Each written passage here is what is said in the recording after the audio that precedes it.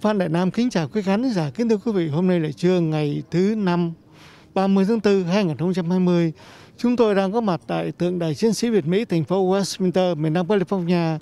để gửi tới quý vị phóng sự những hình ảnh các hội đoàn trong cộng đồng người Việt quốc gia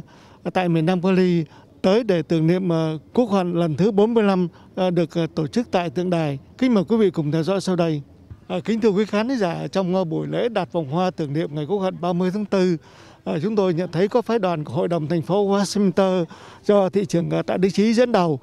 Sau đây chúng tôi có cuộc trao đổi với ông. Xin chào ông thị trưởng và nghị viên Charlie Nguyễn Mạnh Trí. Thưa hai ông, trong ngày 30 tháng 4 kỷ niệm lần thứ 45 năm chúng ta mất nước, hai ông là một thế hệ trẻ, hai ông nghĩ gì về cái ngày hôm nay? Dạ thưa anh, thưa uh, tất cả quý đồng hương, hôm nay là cái ngày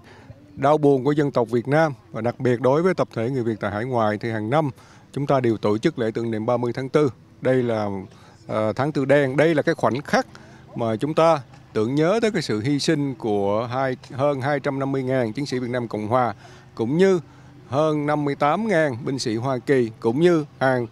uh, triệu đồng bào đã hy sinh uh, trong cái cuộc hành trình đó là tìm đến tự do. Và cái biến cố 30 tháng 4 năm 1975 đã được tập thể người Việt tị nạn tại hải ngoại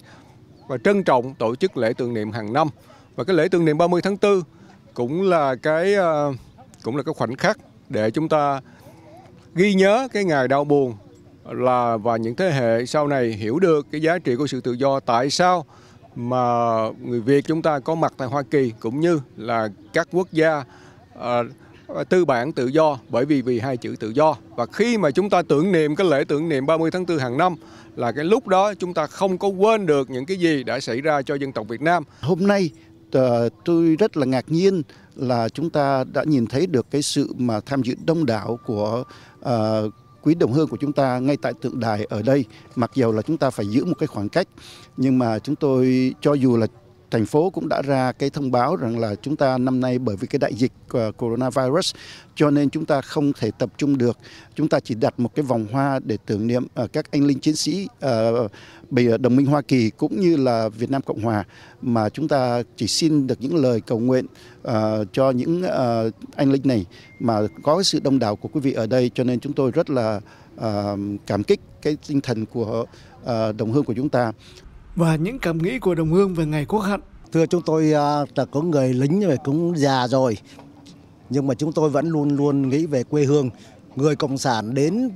xâm chiếm người từ miền Bắc vào xâm chiếm miền Nam, tức để vào cướp miền Nam, chứ không phải con đây giải phóng giải phóng nghĩa làm làm tốt đẹp hơn, nhưng họ không làm được gì tốt đẹp mà cho đến 45 năm nay, thì người cộng sản vẫn tiếp tục đi ăn mày và mang cả miền Nam ra ngoài miền hòa đồng với miền Bắc để đi ăn mày toàn thế giới. Cho đến giờ phút này, quốc gia không có hề phát triển được bất cứ một cái chuyện gì cả. Đây là một cái, không thể nói được cái sự ờ, xúc động và cái sự tiếc nuối. Bởi vì một cái chế độ rất là nhân bản, rất là tự do, dân chủ mà đã thua một cái chế độ tàn ác độc tài thì cái sự xúc động nó không riêng cá nhân tôi mà toàn thể quân đội cũng như toàn dân miền Nam đều rất là ngỡ ngàng khi mà quân đội miền Nam do Tổng thống Dương Văn Minh yêu cầu buông súng đầu hàng. Thì chúng tôi rất là xúc động và ngỡ ngàng hãnh diện là được à, tới đây và mình có một cái tượng đài để cho mình tiếp tục tới đây mình vinh danh và cảm ơn các vị anh hùng. Và mình cũng phải không mình cũng phải nhớ cảm ơn 58.000 người Mỹ à, đã chết về chiến tranh Việt Nam. Và sau năm nay năm nay một lần nữa là một cái bữa nay là một ngày buồn cho nước Việt Nam chúng ta và nước mẹ của chúng ta. Bởi mình không được quên và cái lịch sử đó và một lần nữa Janet cảm ơn quý vị. Phan Đại Nam tường trình từ đài tưởng niệm chiến sĩ Việt Mỹ thành phố Westminster, miền Nam California.